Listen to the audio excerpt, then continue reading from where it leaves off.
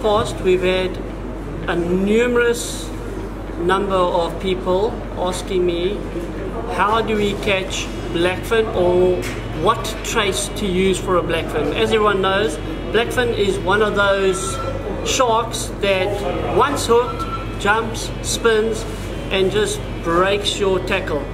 Um, it's earned its name the tackle buster just because of that particular reason. He jumps and he spins and he just absolutely destroys a tackle. I'm going to show you how to make a FMJ that is five meters long.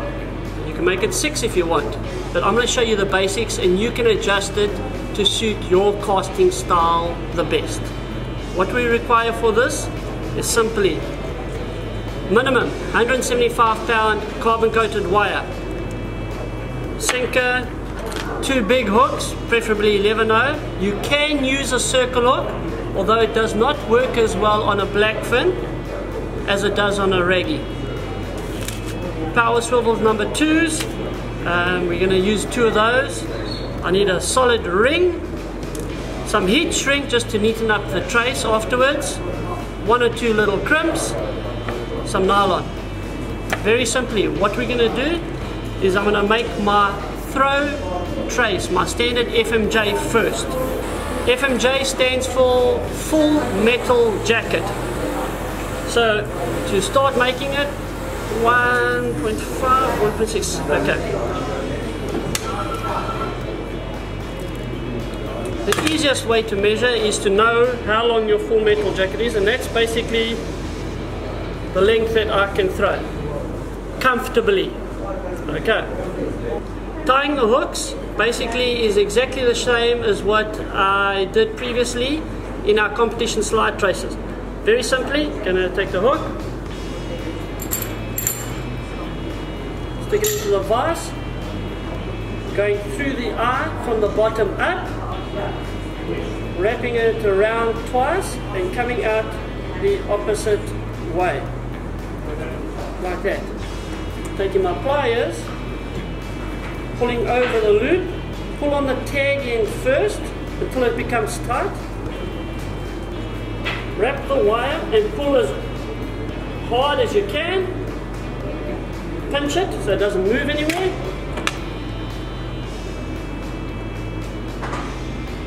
cut off the tagging.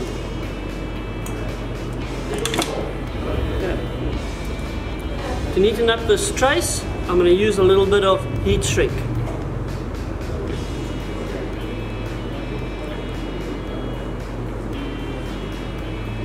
Just sliding it over that end bit of wire, very untidy, lighter, or you can use a kettle.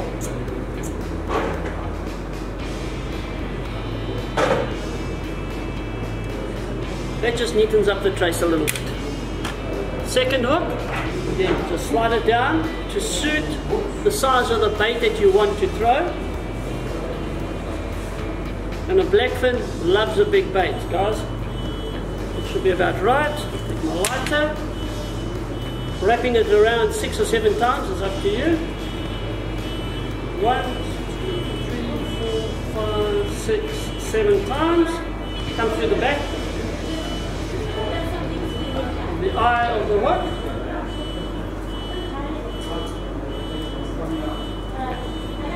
Tight, take your lighter again, and you want to just melt the plastic. You don't want to burn the plastic.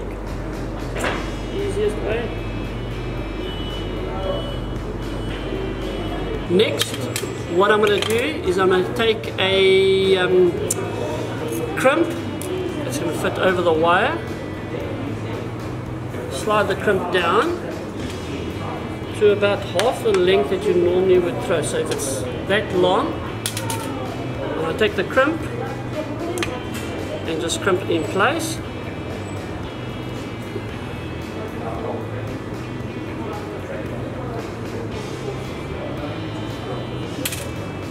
Like so. So basically I've crimped it. Now I'm just going to take a bit of heat shrink just to neaten this whole thing up again.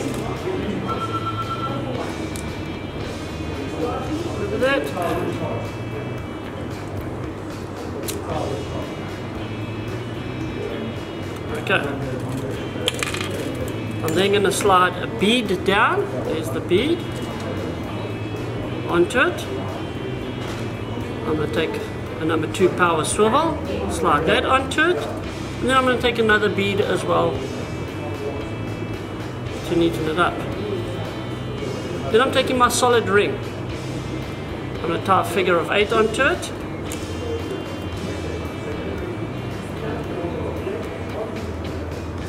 There's the figure of eight. Fingers in there. Grab a pair of pliers. Pull it tight without burning or damaging this wire over here. Wet it. Slide it down. Stick it in the vise. Hold tight. That. just pinch the actual wire once again then cut off the tag end as close as I can.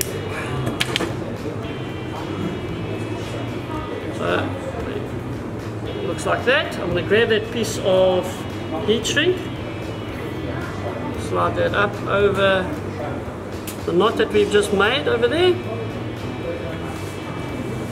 And light it again just to make it neat and tidy again. That's basically step one of the whole trace already done. Okay, all we have to do now is attach our sinker and our sinker clip.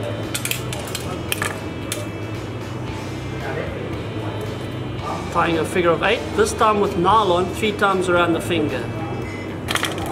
Measure the distance including your dangle that you want to use. So if this is my dangle, we'll thread it through there, measure the length that I want it to be, so I can actually throw, and that's the length that needs to be. Okay, cut that off. Attaching my sinker clip again with the nylon, it's just a figure of eight.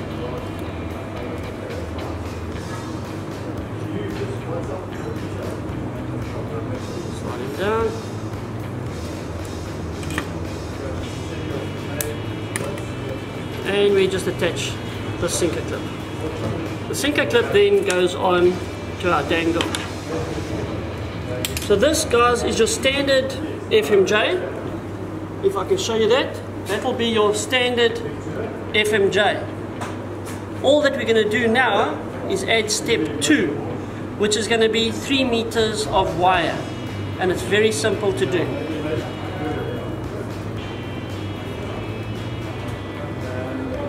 Three meters of wire, take a number two power swivel, like that, go through it and attach it by doing a figure of eight. And then cut off the tag in over here as close as we can.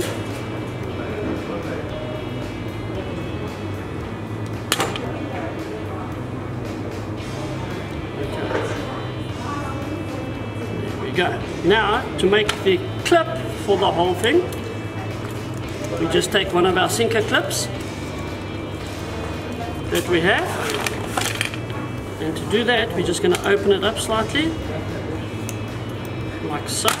We have a bit of side cutters.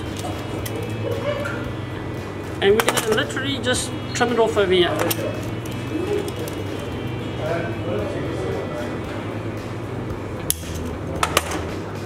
That piece off.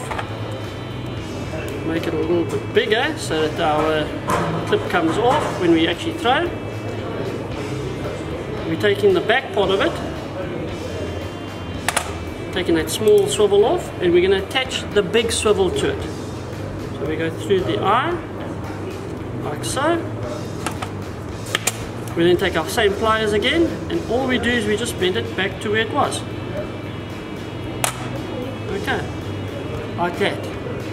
Now what we do, take the end piece over here and we're going to go through our FMJ that we made. Okay gentlemen, ladies, what I've got here is that solid ring that I made for my FMJ. There's that solid ring. I'm then going to take my three meter wire that I've got. I'm going to take my heat shrink just to keep it nice and neat. Put that on first. Then I'm going to take the wire through the first solid ring. Grab another one and basically tie that on. So now figure of eight coming up.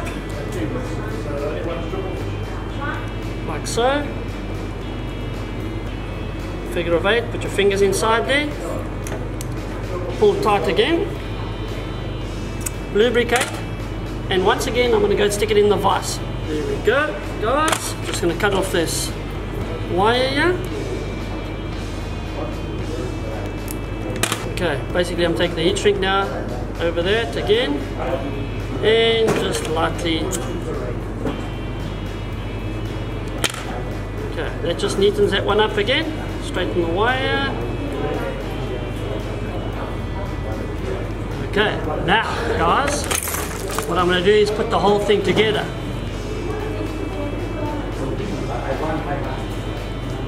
What you're going to do with this trace, this part over here is going to go into your leader. So your leader is going to attach to that part of the actual swivel. You understand? Very simple. Your leader goes on there. That is the loop part, which is the part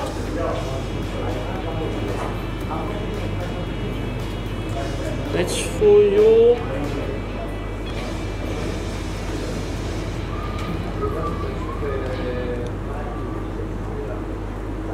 That is for your FMJ. Guys, that is for your FMJ. So very simply, that's going to clip onto your FMJ part. Your leader is attached to that. Your FMJ is attached to that. When you lift it up, show you quickly.